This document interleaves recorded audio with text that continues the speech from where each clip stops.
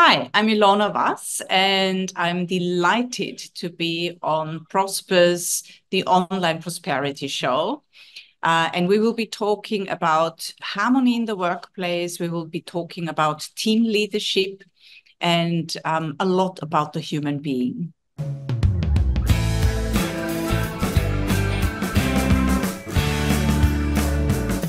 Ladies and gentlemen, welcome to yet another exciting episode of the Online Prosperity Show. I'm your host, Prosper Taruvinga, and today we have a truly inspiring guest that is joining us. Now, Ilona, how are you doing today?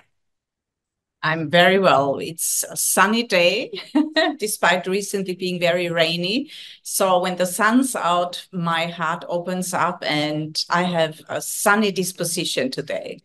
Fantastic. Well, I will give you a bit of a warning. You should never live in Melbourne then, because then you have all of the seasons in one minute and you might not be able to maintain that disposition. But I'm really excited about having you uh, on the show today, and I want to pass on this excitement to the viewer.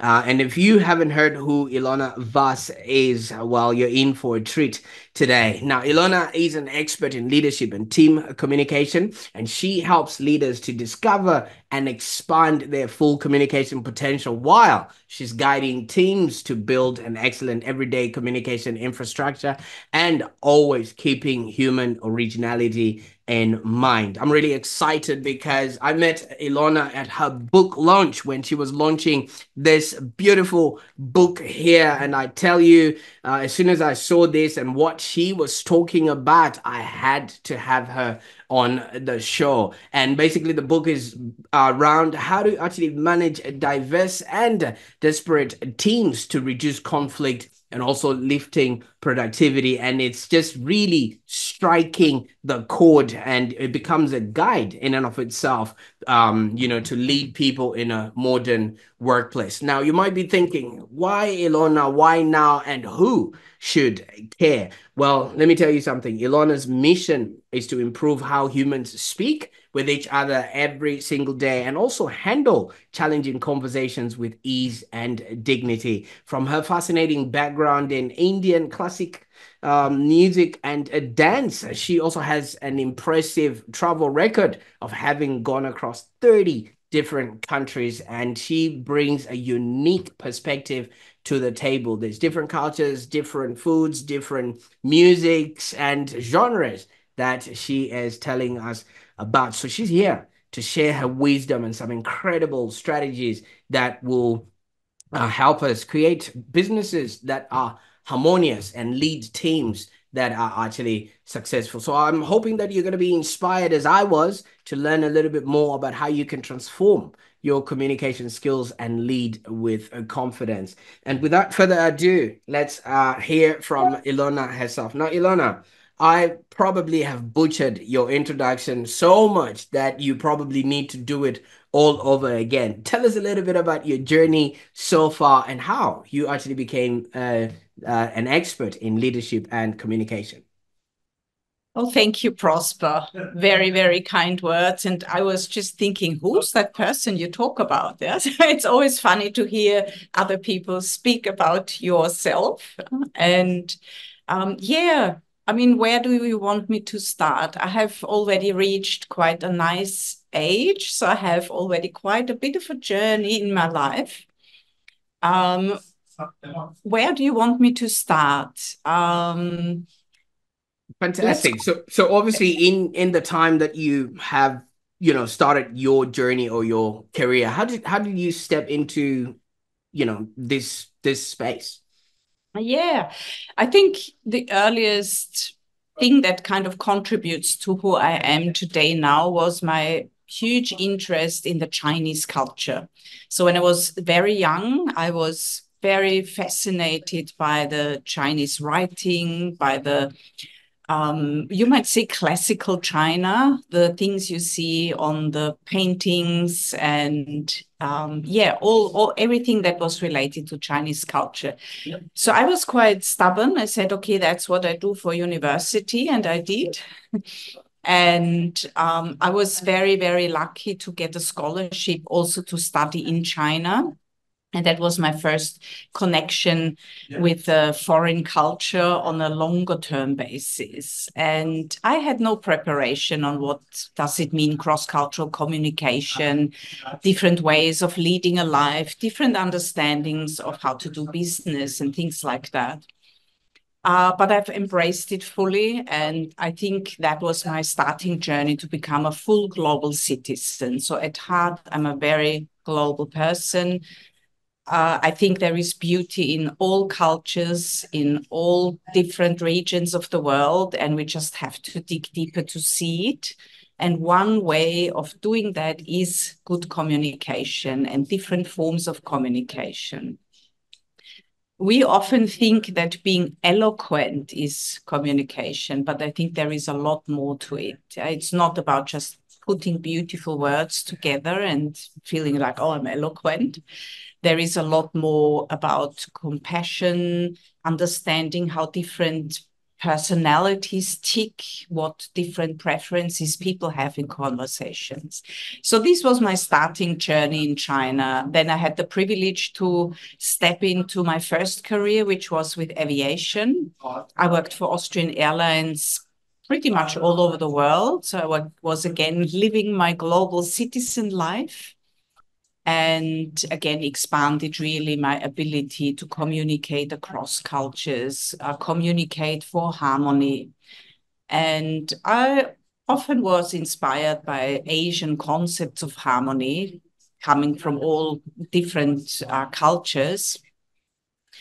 And I think harmony got a bit of a bad reputation in in what you might call the Western cultures. It was like, yeah, if you if you are harmonic, you can't um, kind of have success. Yeah, if you're always striving for harmony in the workplace, where's the the healthy competition going on? So I think there was a misconception around that, and that much later on carried me into the book I have been writing because there is more to harmony than that kind of understanding.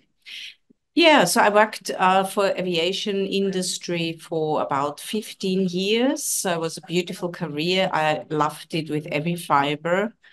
I was never in the air. Yeah? I was always on the ground. I was always in sales and country management and what you might call general management. And my last posting was Australia.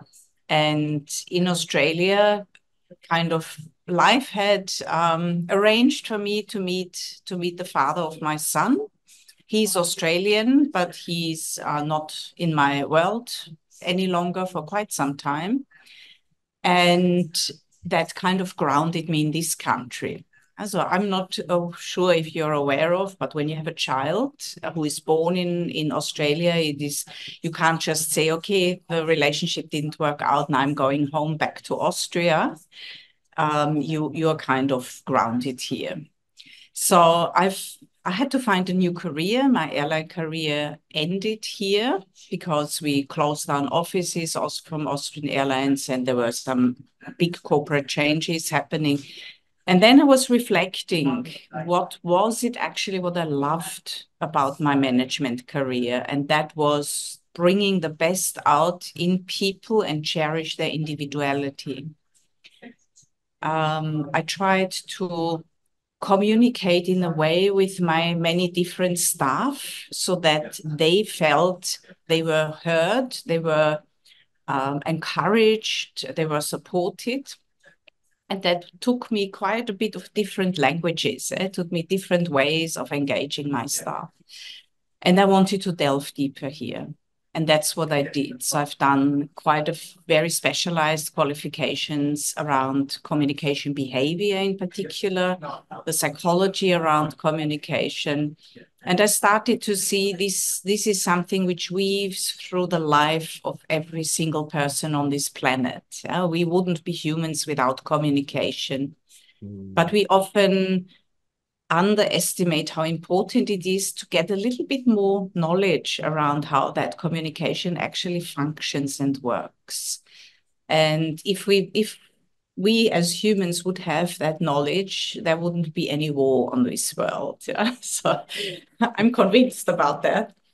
so this this kind of became my thing, yeah, you might say, in in helping people to understand more about communication, be able to decode certain behaviors in communication when someone, you might say, loses the plot. Uh, and um, that's where the potential for conflict lies. But if you understand that on a deeper level, you can set really good interventions. And this is especially important for leadership or people who um, manage teams or manage people in general. Yeah, so that, that became my new career. I, I am self-employed. Um, so I work I work across as kind of having my own programs. I work as a coach. Um, I also uh, sometimes are seconded yeah, to certain projects, and I'm also teaching at the university. Absolutely. So that's where I am at the moment. Yeah, very, very happy and very passionate about bringing better understanding for communication into the workplace.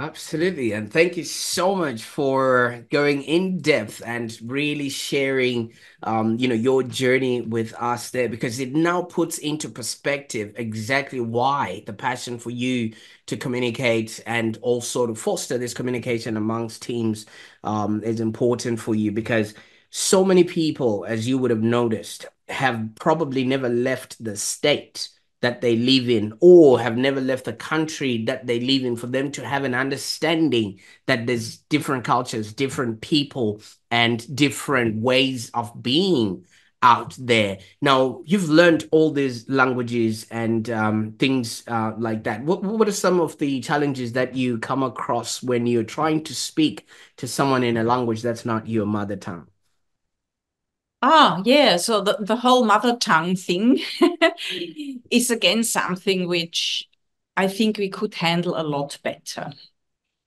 Um, there is this kind of, I wouldn't say it's a bias, but it's an unconscious uncomfortableness people have when someone speaks their language but with either an accent or with mistakes or speaking slower or not being able to find the right word. We, we have not developed enough compassion, understanding, and I would say even tolerance for that to not always get either hectic about it or stressed about it or wanting to move things forward yeah because i don't have the time to explain this again to you I think I think the, we, we take out so much opportunities in not having that understanding and that tolerance level.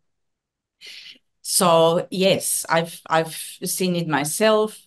I sometimes deliver trainings in foreign languages. I mean, even here in Australia, it's not my mother tongue, and I encourage everyone, honestly, everyone who kind of is in a situation like this, never ever let that get to you.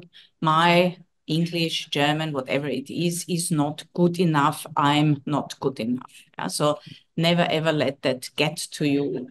Try to improve the language skills, absolutely, but never let that stress from another person get to you in, in diminishing your your essence, your abilities, your expertise. Absolutely. And as you would notice, I mean, obviously traveling around, you're getting into different cultures, different ways of being, uh, especially the Asian you know they have a lot of respect towards you know their either their elders and people that are supposedly in high esteem and they've got ways that they bow in and and all that stuff. Whereas when you mentioned you know in the in, in maybe the west we, we we might not have all of that. It's all individualistic. It's i am. It's you know i'm the person that's you know is more important and there's that sort of entitlement. How do you sort of balance all of hmm? that as a leader you know when you're now crossing across all these different you know um um cultures if if if you're not aware of this? Yeah. Um i think it's it's as a leader we we can go to extremes in either way.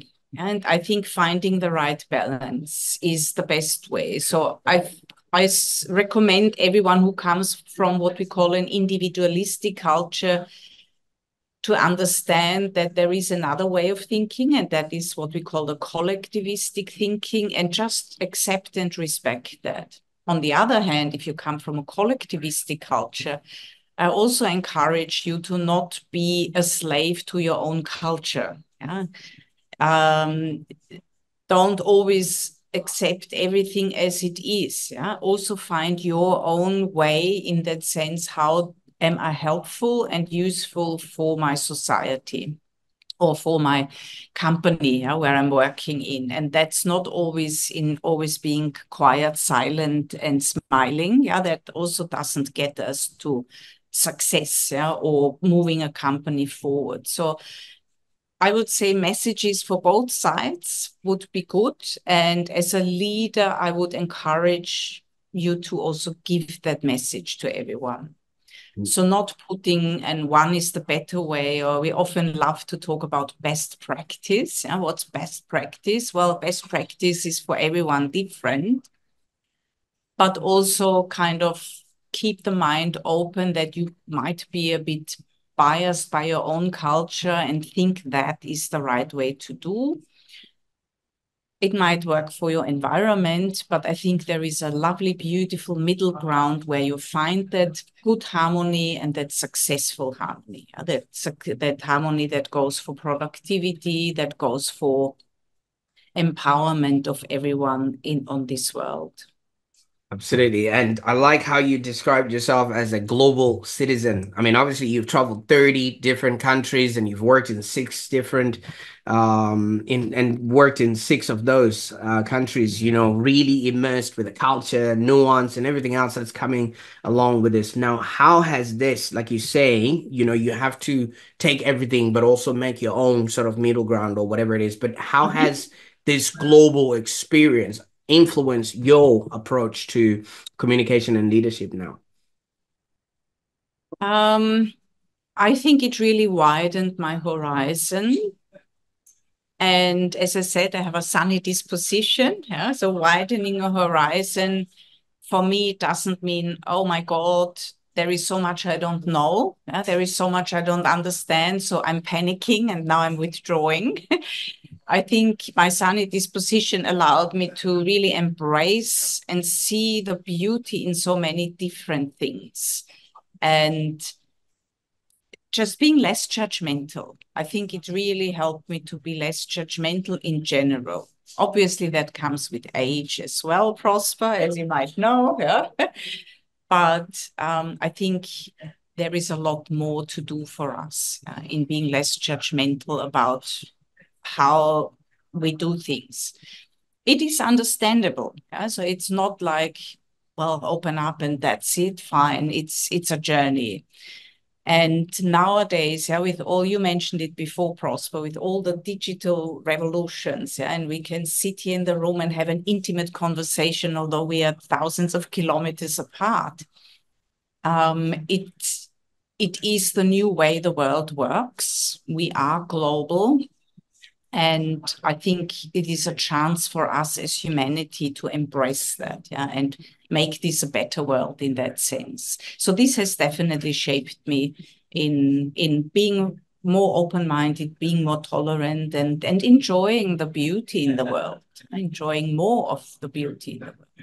Absolutely, and um, uh, there's there's a point that you mentioned, obviously, that so many people just subscribe to best practice you know, um, which is what it's always been like this. This is how we do things, and this is how mm-hmm. our competitors are doing um, things. So we might as well just follow it. And usually you are ending up with a square plug and trying to ram it into a round hole, which obviously creates that tension, um, you know, amongst people. But in your work, you actually focus on human originality all right so that people go in and do things as how they would do it we are mm-hmm. unique in um, our own way now can you explain what this actually means and why it's important in, in communication Mm-hmm. I mean, human originality means that we are all humans, uh, and there is a common ground. And one of these common grounds is communication. And the tools I'm working with they have proved that um, all over the world, regardless which culture, there is a human core in communication. Yeah, there are different ways of how we express each other. And it doesn't matter if you are from Beijing or if you are from, um, I don't know, Cape Town, yeah, or if you are from um, Kansas, yeah, Kansas City, anywhere in the world, we we have we tick in communication that way. Every human does, and I think that is what really allows us to see the human originality and the human core, and that is kind of the culture comes as an overlay, but we do have that and I think this gives us big hope, yeah, that we can get along with each other. I can communicate with anyone in the world if I understand how that works. Mm, absolutely. See, when I yes, when I was growing up, Ilona, they they told yeah. me no two fingers on the same hand are of the same height, and that's the reason why your hand is able to grasp certain things because each finger is making that possible. So, from what you're saying, each individual comes in, they have a duty, they have a role to play. And if we would actually let them, you know, explore and find out what they're capable of, we could actually have harmonious teams and um, maybe businesses that are profitable and enjoyable, right? Absolutely. Absolutely. I love your analogy with the hand. I love I know that before. Yeah. Absolutely. And speaking of harmonious teams, thank you for the book. I You're think very- it is a symphony that needed to be played. And you eloquently put it together. And I think this is a masterpiece. Now, it is a book that I've read and it emphasizes the importance of harmony in teams um, and the way that it actually um, you know, helps people in the modern workplace. So, what are some of the key takeaways from the book that you want the audience to actually implement in their own teams? Yeah, I mean, the key takeaway I would say is I mean, you might say, oh God, not another leadership book. Yeah. there are thousands and they all have their they all have their place. All these books have their place. And I think also my book has a place, although it's one of so many leadership books. I think it brings that kind of originality also from my upbringing. Yeah? So I come from Austria, as I mentioned before, which is one of the countries with music, yeah? and music, especially classic music, is kind of in our blood, and we grow up with it, and everyone plays an instrument, and we all go to concerts, and it's just normal part of life. And um, I was when when I started to look for harmony in teams, which was a topic that was important to me. I wasn't first thinking of the musical analogy, but when you do your research, and I was just googling harmony and team harmony and things like that, and I felt like, gosh, there is so much uh, more on harmony from the music world yeah, than actually in in the workplace. And that kind of gave me the idea and then i was reflecting back on my life. And i think this is a key takeaway for leadership uh, don't try to fit only one mold yeah? Don't as i said they are best practice. You have to find as a leader your best practice. And when you when you take a concept like musical harmony it gives you it allows you more. Um, i'm often i'm really a believer that we should be more allowing people as you so beautifully said before to be who they are and contribute in their way to the world. And i think the same counts for leadership harmony or leaders who want to create harmony and that would be a key takeaway from my book.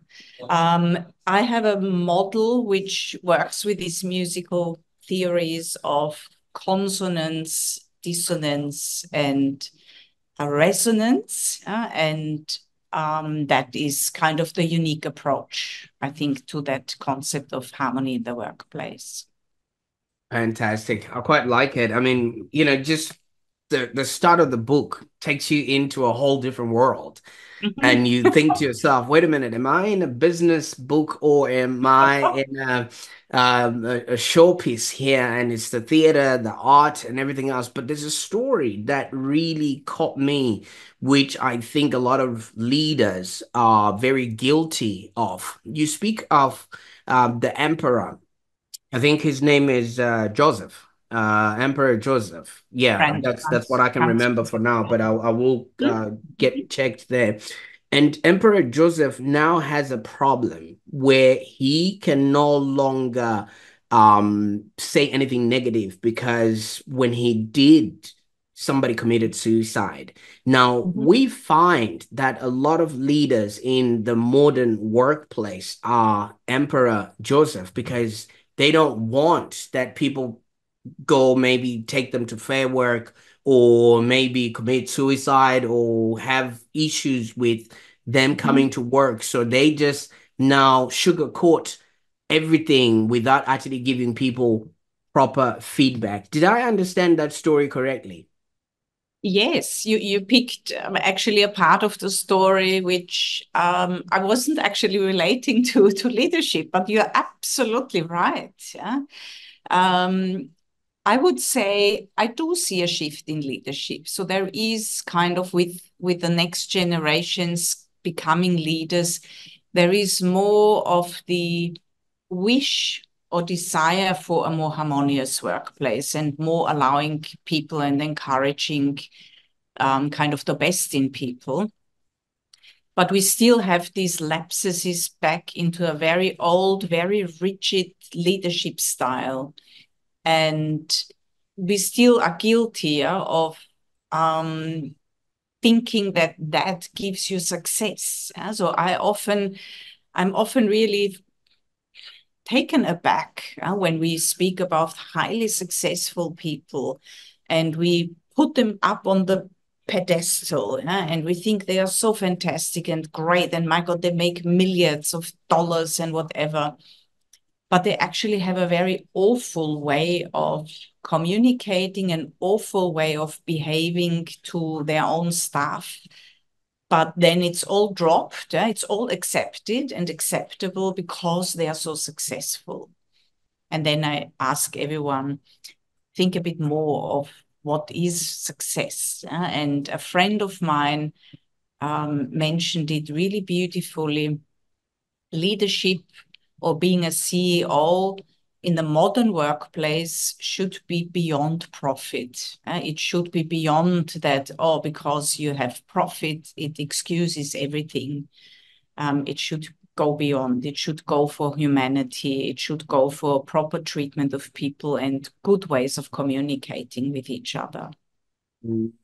Absolutely, and and I think when when people are communicating, they would have a, good sense of even belonging to the organization, and when people feel like they are being listened to. Absolutely, absolutely, and it's proven over and over again. I mean, we we have, thank God, yeah, we have these beautiful statistics of the best workplaces in Australia in every country. Every country, I hope every country comes out with that statistic. These are the companies who are successful and take that calling for good communication, proper treatment of staff very seriously.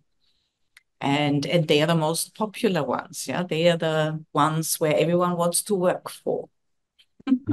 Absolutely. Now, there's also a statement that you mentioned, and and I think so many people have that going on in in their workplaces. I think you said we don't do conflict here, and um, you know, with that, I, I just married, you know, another concept that I saw from you, which is you have shifted from what you term as forced positivity to relaxed positivity. Now, can you maybe elaborate on this shift and how it's actually impacted um, you know, your professional and personal life? Yes, yes. So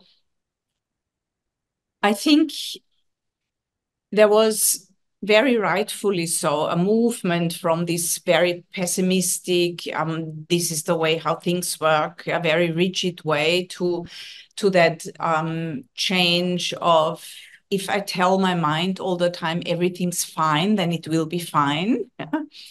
I think that was a pendulum going into the other extreme, and that is actually equally stressful for people. So when you never can show that something gets under your skin, or you can never um, word out, yeah, when there is something not right, or you think, my goodness, we've made a mistake here with that customer. Uh, there was something going really wrong when you're not even allowed to say that and mm. always brush over everything with everything's fine. Yeah, we're so happy here. We don't do this and everything's good. Um, that is equally stressful for people yeah, when they have to keep up that pretense.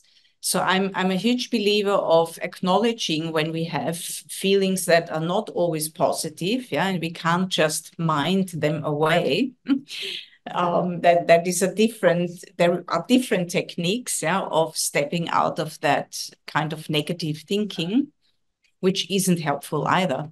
But i think we have to find that balance and that just needs knowledge on how you do that that needs to know how do i take myself into a better place when I have bad experiences at the workplace or when I feel compassion for a client that has been mistreated by my own company and that we then allow these feelings and discuss it through in a way that is productive and actually gets us then back into a positive place and not criticizing people or oh, you're always so negative yeah and uh, oh my god why why do you mention that? Yeah it's it's only one case yeah but a hundred is everything's positive. So this is what i mean with false positivity because it's equally stressful and when we have to keep up the pretense mm, absolutely. And obviously you know with with with a lot of businesses it's always about the bottom line and whatever keeps the profits like you said but you need to be aiming beyond uh profits for you to actually have and um introduce that harmony. Now, I don't know, I don't know what you think about this, Ilona. The last couple of years have sort of presented a different workplace. You know, so many people have been um, introduced to a concept of you being able to work from home, and businesses have also been introduced to a concept that you literally can hire anyone from anywhere in the world. And now this is just bringing in a whole cocktail of um, things that we've never really experienced, um, you know, in the past. So there's mm-hmm. reports that there's a lot of stuff turnover and it's becoming a big, big common issue because now people can work for international companies without having to leave their home and vice versa. International companies can now find the best talent without looking for people that are just local to to them. How do you then motivate people to form an A team quickly? Yeah, very good question. Um, let's say you have a remote team and you are physically not able yeah, to meet initially. I, I, still recommend that sometimes if it's a longer project, yes, if it's a few months project, you won't be able to do that. But if you hire someone in a leadership position, let's say from um, an Austrian company, but the person sits in, in Mongolia, then kind of I still encourage that at least you bring your worldwide staff at one point together. Yeah, this is just one thing which I think some companies do.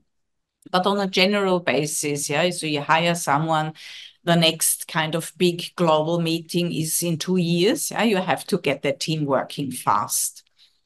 I would say lots in the beginning, you need to have you need to spend really a long time to work out amongst each other via Zoom yeah, or Teams or whatever is out there on how do we communicate best with each other. And as a leader, this is challenging because you really have to encourage here openness. Yeah? You have to create that climate of openness so people honestly share what works best for them and you kind of make what I call a team charter. And you're creating kind of an agreement with each other where everyone chips in. and everyone has to say something. Yeah? No one can sit back and lean back and say, "Oh, I'm a quiet person," or "I'm a shy person, so I don't say anything." No, everyone has to chip in, and you that takes a bit of time in the beginning, but when that clarity is there, and that kind of mutual agreement, then it's a lot easier to quickly address when something's getting a bit off. Yeah? So when things don't work or get a bit clunky, then we are a lot easier and more comfortable to address this early on because we have that mutual clarity and that helps with the productivity and moving on with the project regardless from where you work. If you don't do that and just have one session and say, yes, hello, and this is so and so, and we are all happy together, and um, how do you like to communicate? And everyone says, oh, yeah, I want to be precise and clear, and uh, we want to work on time, and want to work towards deadlines. You have to be a lot more specific. What does that mean to you, clear? What does that mean to you, precise? And you need to take that time in the very beginning. Mm. I like that. I think that's a recipe. That's a good recipe for for productivity and a team. I can only imagine. I mean, because at the end of the day, um, I, I think there's that statement: if you want to go far, you go alone. But if you want to go further, you go together. But you have to actually understand the individuals that are coming together at that one particular uh, position because some people are introverted and some people are very loud, and so many people don't get to speak or don't even get noticed in a meeting or things like that. And um, while I was reading your book, I was I was really drawn to this exercise that you put in there. You will understand from now. couldn't get love it, Prosper. Love it. You got the prop. Yeah. I couldn't get a bigger balloon in time, but that whole balloon um scenario where you got um you know you you spoke about a team leader that wrote the people's uh, names on a balloon and then for the first time people couldn't find their name but after a while people now could find, you know, their, you know, a person's name and then pass it on. I mean, yeah. maybe I butchered this whole story, but maybe you can tell us of this exercise. no, you didn't butcher it, Prosper. You you you beautifully made it very concise. Yeah, it's it's it's kind of highlighting, uh, especially in very individualistic um, societies and companies who um, kind of think if if if I'm good, yeah, if I move forward, and often the elbow techniques and the huge competition with each other. It's when you have teams like that, it's very good to highlight to them that you need each other. Yeah? Without each other, you can't go further, as you said. And this balloon exercise is a very good way to to bring the message home. Yeah? And yes, you you send people. It it works with bigger teams. Yeah, with smaller teams, I think we can do the other exercises. But with a big team, um, write the names on their balloons and let everyone go and find their balloon. Yeah, and they just won't find it, or perhaps someone is lucky. But then, if you say find each other's balloon yeah, and hand it over to your team member, that really highlights that we have we are working together. And I'm hugely not a fan of competition within teams. And i'm and definitely also not within the company. Yeah we see that unfortunately still where we have very many silos uh, that one silo fights for more budget than the other silo. And yeah so i'm not a fan of that. I don't think this is this might be a short-term success for one part of the business but not for the entirety and yeah that exercise highlights that we need each other. Absolutely absolutely. And um, as soon as i saw that i was like that that is something you know that needs to happen. But obviously it has to happen you know and when when people are seeing each other. But you do offer to our uh, communication potential exploration right? Where people can get to understand you know their communication potential. What can people expect from this session and how does it actually benefit them?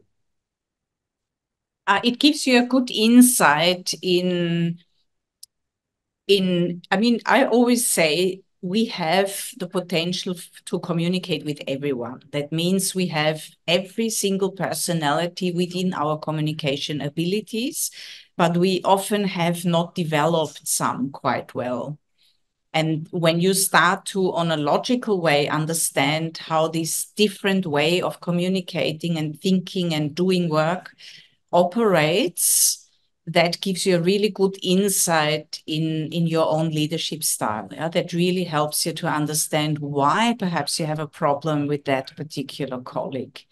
And then you can make the correct adjustments. You can shift your communication. You can adapt to that you can build up your own kind of energy in that sense that you can hold conversations which would be naturally more difficult for you longer and easier. And it's it's kind of building new muscles yeah flexing new muscles in communication and that kind of snapshot of your your leadership potential in communication helps with that tremendously mm, i quite like that and what would be the best way that uh, people can get started in exploring this uh, communication potential um, well, contact me. Yeah, I'm I'm very approachable.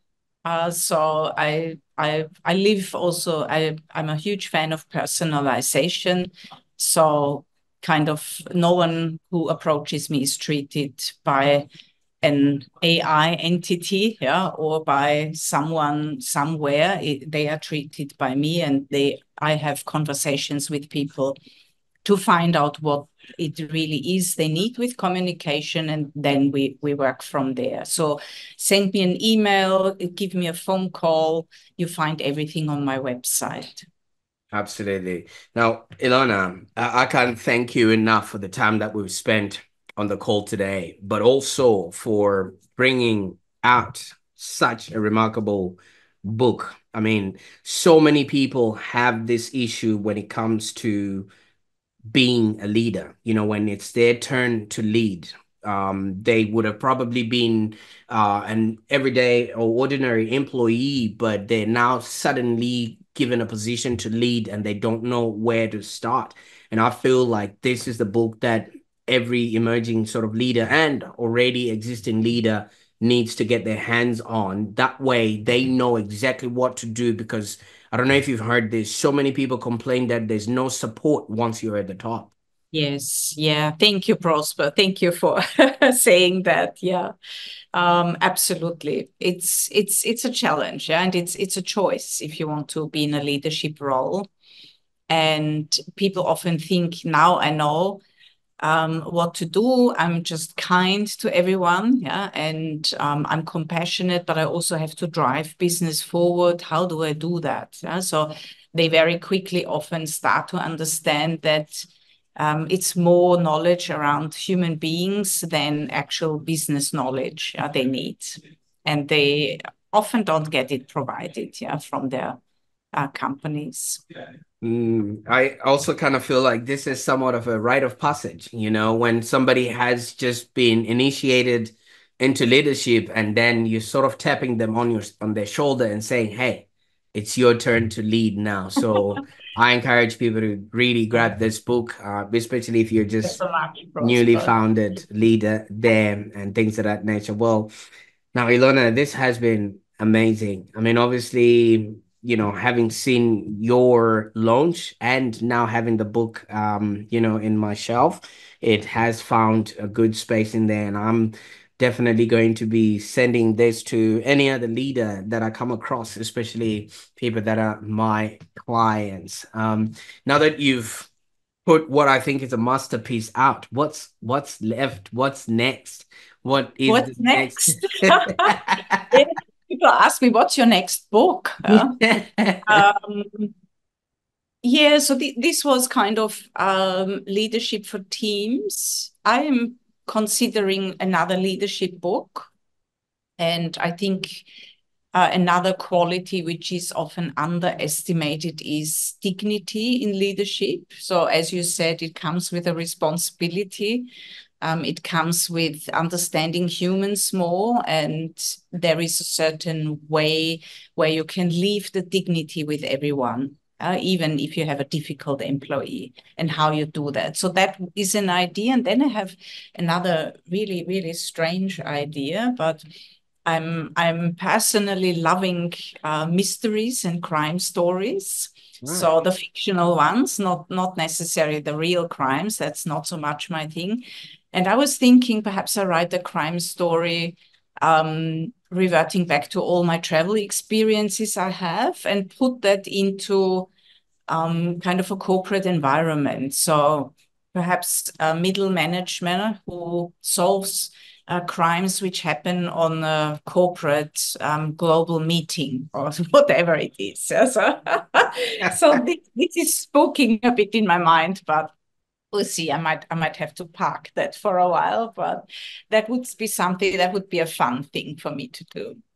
Oh, fantastic! Now, based based on who you've been and where you've uh, come from, have you ever seen in the movies there, Ilona, where they're sitting at a boardroom and they've run out of ideas, they don't know what to do next, and then one of the um, you know, one of the interns just slides a paper to the boss, and then the paper has uh, a name on it, and then they the boss just stands up and says, "Send the chopper." I think you're the send the chopper lady, where you're probably going to be somewhere enjoying the sun, and then a team needs harmony, and then they send down a chopper to bring you in so that you can set them on the oh, straight and narrow. This is so cute. Yeah. oh, that would be wonderful. Yeah. see, who's sending you a chopper, Prosper? I hope there are people who do that too.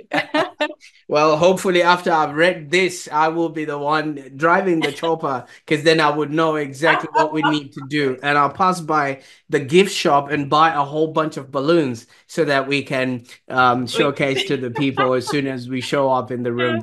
But um, I really, really thank you so much for the time that you have spent uh, with me on the show and also writing the book. And if you are going to not unsee anything again, if you look at the image on there, that's like the chopper from the top actually ah. going.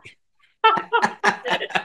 I love that, Prosper. Thank you so much. Thank you. It, it, it really was my absolute pleasure yeah, to be on your podcast and wishing you all the success. Yeah? And um, yeah, I'm sure we will be in touch. Thank absolutely, you. absolutely. Well, thank you so much. I mean, your insights into leadership and communication have been truly enlightening, and I encourage everybody to grab themselves a copy of uh, Team Harmony, well, you won't be getting my one because my one is a signed copy, but you can get this off of Amazon and also be able to start, um, you know, striking the right chords because this is a guide to leading people into the modern workplace. And if you find this episode valuable, don't forget to rewatch it and share it with your network and especially the leaders that you work with in your business. Was there something that you wanted to say before we conclude there, Ilona? Yes, if anyone wants a, wants a signed copy as well, you can also buy it from my website. So that's where you get the hand, hand signed copy from me. Oh, absolutely. I was only reserving that for me. Now it's no longer special then. All right. Fantastic. And thank you so much for that generous offer. Yes, definitely get yourself um your you get your hands on this as we have um, established. It is exactly what you need uh, on your next journey to leadership. And while you're at it, why don't you subscribe to the online prosperity show for more inspiring content and expert advice like this. Until next time, keep thriving and obviously be committed to the growth of your teams out there. Bye for now.